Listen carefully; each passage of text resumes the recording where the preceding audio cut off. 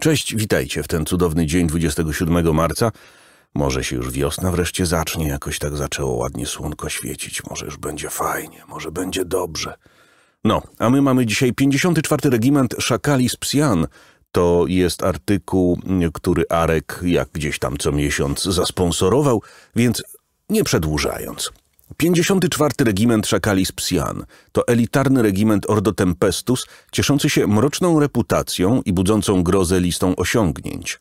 W Militarum Tempestus są kojarzeni z symbolami, które noszą na swoich pancerzach flag, symbolami, którymi wzbudzają równie wiele strachu w swoich przeciwnikach, co w sojusznikach. Ich pokryty dziewiczą zielenią ojczysty świat, Mylok, pada ofiarą częstych najazdów ze strony Eldarich, Ciemiężona przez tysiące lat populacja planety wykształciła w swojej kulturze mechanizmy obronne, dzięki którym mieszkańcy Mylok potrafią adaptować się do nagłych ataków Zinos, a nawet je przewidywać. Co dość oczywiste, szakale z psian szczególnie dobrze radzą sobie w starciach właśnie z Eldarami na polu bitwy, czytając z ich manewrów jak z otwartej księgi. Po tym jak starożytny świat treningowy został zniszczony przez tyranidów z floty roju Lewiatan, garnizon 54 Regimentu Szakali z został przeniesiony do placówki tymczasowej na powierzchni dziewiczego świata Mylok. Po zaaklimatyzowaniu się w nowym miejscu, oficerowie zaczęli adaptować coraz bardziej złożone metody tropienia oraz przeprowadzania zwiadu od lokalnej populacji. Z uwagi na częste najazdy Zinos na tę planetę, 54 szybko wykształcił wielu łowców specjalistów od walki z Eldarami. Niewielu żołnierzy Militarum Tempestus może im dorównać w tropieniu przedstawicieli tego gatunku Zinos oraz ich konstruktów z upiorytu. Niewielu jest również w stanie dorównać im w stanie w starciu z ich zaginającą czas i przestrzeń bronią. Spora część ekwipunku pierwotnego regimentu Szakali uległa zmianie na rzecz nowej doktryny, jednak już po ich pierwszej kampanii w całkowicie nowej odsłonie dla wszystkich wyżej postawionych oficerów jasnym stało się, iż głęboka restrukturyzacja była tego warta. Po przeanalizowaniu raportów kilku pierwszych bitew szakali, najwyżej postawieni sztabowcy Militarum Tempestus postanowili rozesłać ich teoretyczne schematy taktyczne do innych regimentów Tempestus, stawiając szakali za wzór godny naśladowania.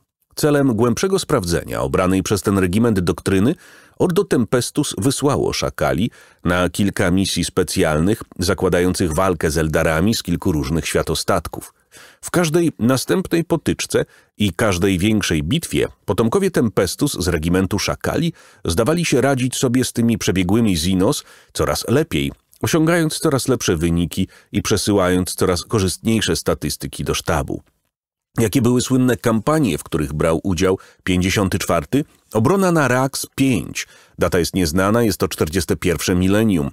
Jedną z najbardziej chwalebnych misji Szakali była obrona na Rax 5 – gdzie zostali zmuszeni do długiego, na wiele kilometrów marszu przez toksyczną dżunglę, po drodze odpierając coraz śmielsze ataki sił uderzeniowych ze światostatku Uldwe.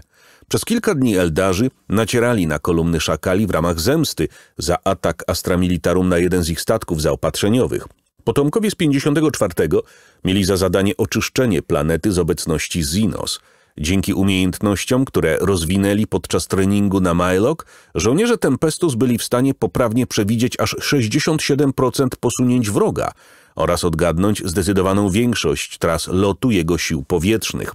Co więcej, byli w stanie nawet zastawić na Eldarów pułapkę i zniszczyć jeden oddział wojowników aspektu na chwilę po wyłonieniu się ich z portalu pajęczego traktu.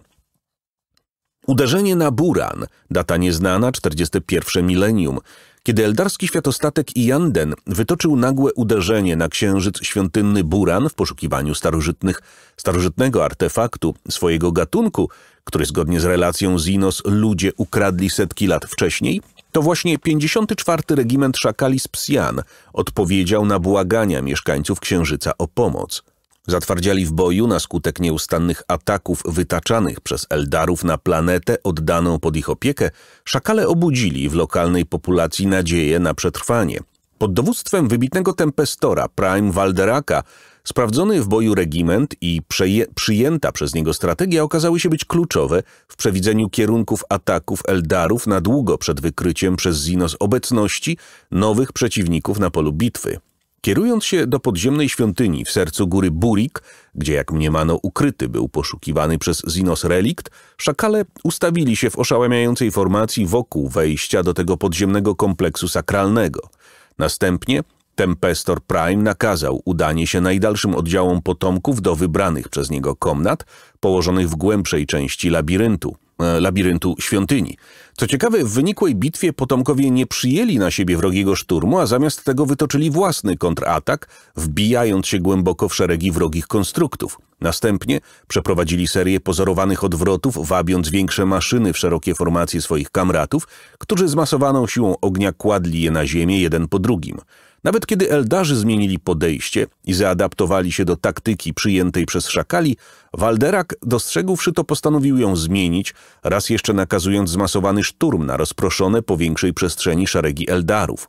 W chwili, gdy szakale raz jeszcze starły się z Eldarami, u stóp schodów prowadzących do kompleksu swój desant wyładowywały pierwsze walkirie. Posiłki szakali zaatakowały Zinos od tyłu, odcinając im wszelki odwrót. W tym samym czasie krążownik klasy Lunar, pozostający na orbicie Księżyca, odpalił pełną moc swoich silników, ujawniając swoją obecność załodze okrętu Eldarów, przepędzając go, nim ten był w stanie zbombardować z orbity całą górę. W wynikłej bitwie Tempestor Prime Walderak stracił 46 stanu osobowego regimentu. Zawiedzony tymi horrendalnymi stratami, oficer zaplanował jeszcze bardziej rygorystyczną sesję treningową na Majlok, zakładając w pojenie szakalom jeszcze większą dyscyplinę. 54. Regiment Szakali jest znany nie tylko ze swoich błyskotliwych zwycięstw przeciwko Eldarom, ale i ze swoich silnych i efektywnych formacji.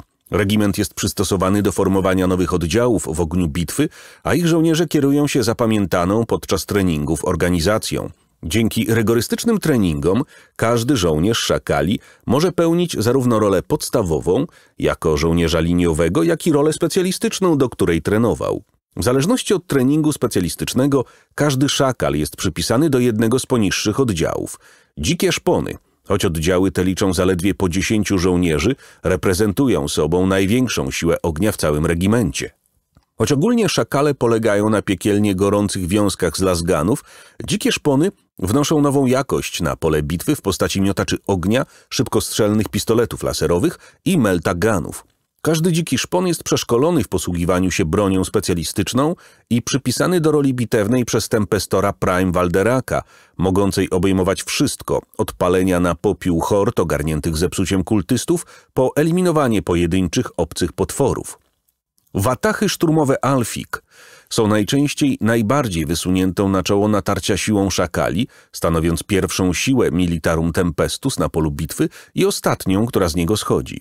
Ich oddziały na ogół składają się z najbardziej zatwardziałych wojowników, którzy nawet jak na standardy militarum tempestus wykazują się wyjątkową nieustępliwością i nieugiętością w obliczu zmasowanej siły ognia przeciwnika. Walderak najczęściej wzywa ich do utrzymania kluczowych pozycji na polu bitwy. Oczy szakala w trakcie kampanii, prowadzonych głęboko za liniami wroga, wojownicy militarum Tempestus niekiedy na własnej skórze przekonują się, że dane otrzymane przez nich z wywiadu drastycznie różnią się od obrazu rzeczywistości. W tego typu przypadkach dochodzi do zawiązania się oddziałów oczu szakala. Siły te składają się z najszybszych wojowników w regimencie, a ich głównym zadaniem jest zebranie informacji o obszarze wokół regimentu. Szczęki szakala – Regimenty Militarum Tempestus nie są tak liczne jak siły Astra Militarum, w związku z czym nie mogą polegać wyłącznie na samej sile ognia, by poradzić sobie z każdym przeciwnikiem. Kiedy więc wrogie machiny zagrażają linii bitwy i muszą zostać wyeliminowane tak szybko, jak tylko jest to możliwe, Walderak wysyła do ich zniszczenia szczęki szakala. Zazwyczaj oddziały te składają się z 30 najlepszych strzelców regimentu prowadzonych przez Tempestora Zelius. Niezwykle rzadko zdarza się, by nie poradzili sobie z wyeliminowaniem wskazanego im celu. Wojownicy ci specjalizują się w wykrywaniu najsłabszych punktów wrogich machin i bestii. Szakale noszą pancerze w czarnych odcieniach ze srebrnym obramowaniem oraz czarne nakolanniki, monitrony i omnihełmy. Dodatkową tradycją potomków z tego szczególnego regimentu jest malowanie hełmów na biało, na wzór ludzkiej czaszki, co na przestrzeni lat stało się ich symbolem rozpoznawczym. Symbolem regimentu jest czarny szakal, wiele mówiący o zarówno całym regimencie, jak i usposobieniu wszystkich jego żołnierzy. I tyle, jeśli chodzi o charakterystykę e, 54. Regimentu Szakali z Psian. Ja dziękuję Wam bardzo, dziękuję Arkowi za zasponsorowanie tego artykułu i trzymajcie się do przyszłej wiosny. Cześć.